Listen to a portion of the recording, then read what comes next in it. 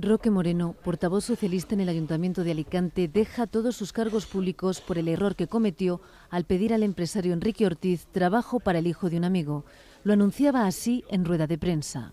He realizado una llamada de teléfono pidiendo un puesto de trabajo para un compañero. Un compañero que además es un gran amigo. Es un error.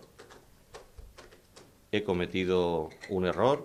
Moreno aseguró que se trata de una decisión personal desvinculada de la Comisión Municipal que estudia posible corrupción en la remodelación del Estadio Rico Pérez, de cuyo club es dueño Ortiz.